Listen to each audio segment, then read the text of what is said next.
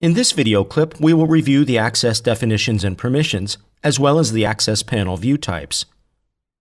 In addition, we will also see how to assign a custom role to a user. Let's select the Wasabi Club project in the Navigator and activate the Access panel on the right. The Access panel has three different view types.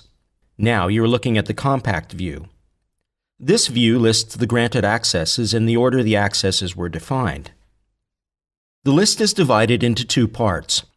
The upper part lists the access definitions created locally, while the bottom part displays the access definitions inherited from the parent elements.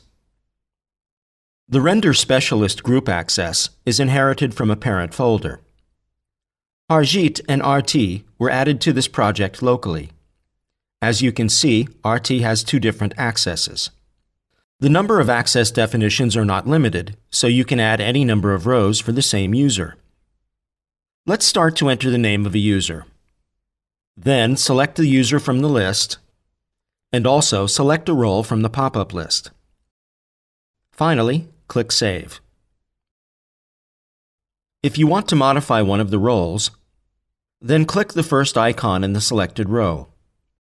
Select the new role from the pop-up and click Save. You can also click the X button if you want to leave without saving. If you wish to delete an access definition, then first you select a row, and then click the third icon to the right.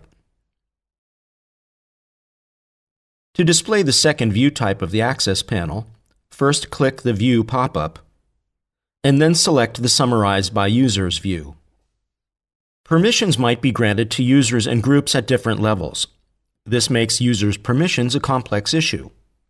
Use this view to unfold all groups and to overview all permissions. In this view, all groups are unfolded. Only users are grouped with their roles.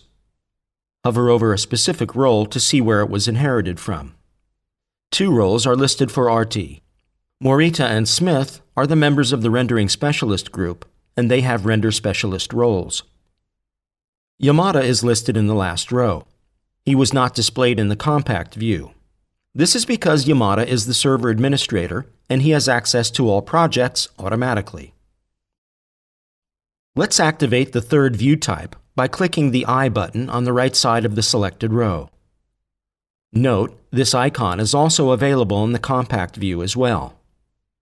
This is the permissions view of the Access panel. This view lists the roles and summarizes the permissions that are granted to the selected user or group. The permissions are listed in rows, and the roles are shown in columns.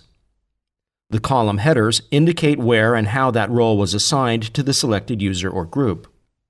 The summary column shows the aggregated permission set for the selected user or group. Click Edit on the header to make the custom role editable. The custom role column is the only place where you can revoke a permission.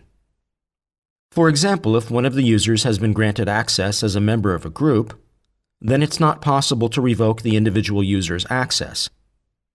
The solution is to assign the user a custom role and then revoke specific permissions.